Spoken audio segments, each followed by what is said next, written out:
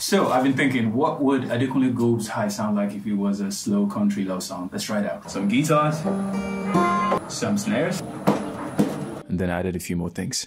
I think we're good. Let's see what it sounds like.